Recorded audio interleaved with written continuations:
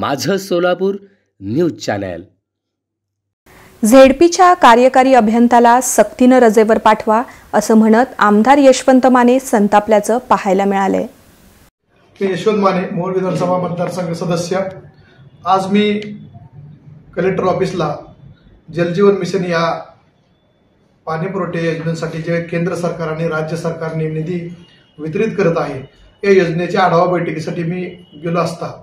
काही गोष्टी माझ्या अशा निदर्शनास आल्या की केंद्र सरकारने आणि राज्य सरकारने दोन हजार चोवीसपर्यंत प्रत्येकाच्या घरामध्ये नळ आणि जल हे दोन्ही प्रक्रिया पार पाडण्यासाठी हजारो करोड रुपयाचा निधी आपण दिलेला आहे.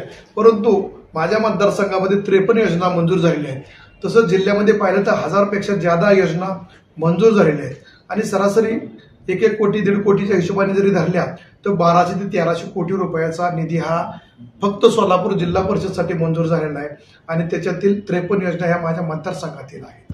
मी आपल्याला निदर्शनास असा आणून देतो की मी आज कलेक्टर साहेब आणि कार्यकारी अभियंता डेप्टी सीओ यांच्या समोर अशी गोष्ट मांडली की पाठीमागील काही कालावधीमध्ये टेंडर प्रक्रियेमध्ये सक्तीची आठ एक होती की त्या कॉन्ट्रॅक्टरने जिओ टॅगिंग गावामध्ये जाऊन उदाहरणार्थ उद्भव असतील पाण्याची टाकी असेल फिल्टर असेल किंवा जॅकवेल असेल परत त्याच्यानंतर तुमची गावातील मेन लाईनचं स्पॉट असेल हे सर्व बघून त्या ठिकाणी त्यांनी जिओ टॅगिंगचे फोटो घेणं गरजेचं राहतं.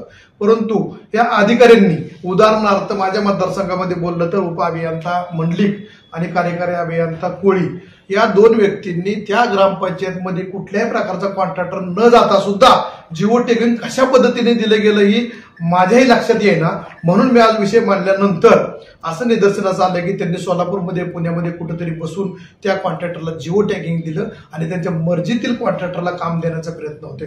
तुम्हाला एक मी उ- उदाहरण देतो. जर एखाद्या कॉन्ट्रॅक्टरने चार टेंडर भरले असतील त्याच्यातील त्याचे दोन टेंडर पास केले जातात आणि दोन टेंडर अपात्र केले जातात. ही कुठली पद्धत?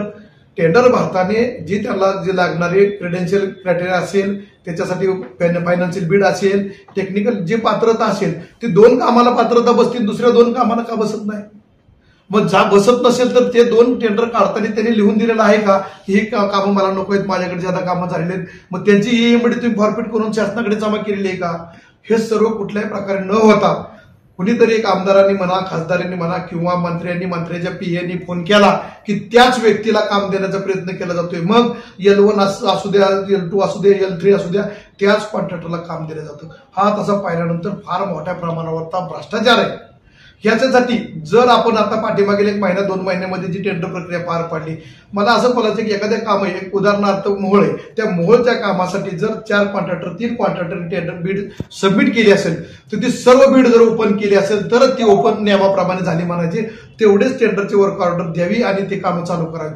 परंतु दुसऱ्या प्रकारे जिथं आठ टेंडर चार टेंडर पाच टेंडर झाले त्या टेंडर कॅन्सल झालेले आहेत किंवा बायपास केलेले आहेत ह्या सर्व कामांना स्थगिती देऊन त्या अधिकाऱ्यांना सक्तीच्या रजेवरती पाठवून नवीन अधिकाऱ्याची नेमणूक करून ते क्रॉस चेकिंग करण्यात यावं आणि ते प्रत्येक टेंडरचा अहवाल त्या कलेक्टरला शिवला आणि आमच्यासारख्यांना देणं गरजेचं आहे.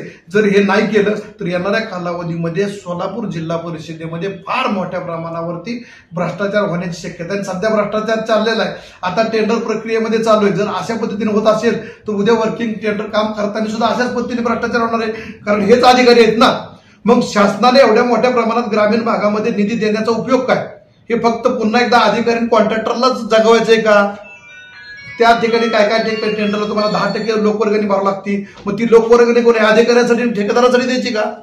म्हणजे शासनाने पैसा ठेकेदार अधिकाऱ्यांसाठी घालायचा जनतेने पैसा त्या ठेकेदार आणि शासन अधिकाऱ्यांसाठी घाला हे कुठंतरी थांबणं गरजेचं आहे.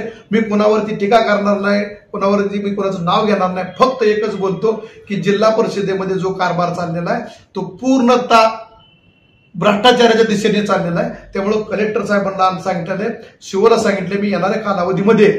मी विरोधी पक्षनेते माननीय अजितदादा पवार साहेब आणि पाणी पुरवठा मंत्री गुलाबराव पाटील साहेब या दोघांनाही मी अशा पद्धतीचं निवेदन देणार आहे.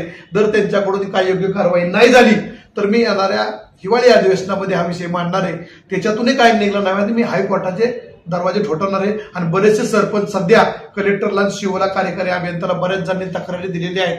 त्या अर्जावरती सुद्धा त्यांनी विचार करणं गरजेचं आहे. मी फक्त माझ्या मतदारसंघासाठी सांगतोय परंतु बऱ्याचशा आमदारांनी मी त्यांना सांगितलेलं की होतंय चुकीचं होतंय तर ह्या थांबवणं गोष्टी गरजेच्या आहेत. तर तेरा तालुक्यामधली ही प्रक्रिया तात्काळ शिवोनी आणि कलेक्टरने थांबवून जी योग्य आहे तेच कामं चालू करावी ती आणि जी अयोग्य आहेत ती कामं पूर्ण कॅन्सल करून पुन्हा टेंडर कॉल करण्यात यावं आणि नियमाप्रमाणे जे कॉन्ट्रॅक्टरला टेंडर बसतील त्यांनाच टेंडर देण्यात यावं अशी माझी सूचना माझा विनंती आहे असं मी आपल्याला सांगतो.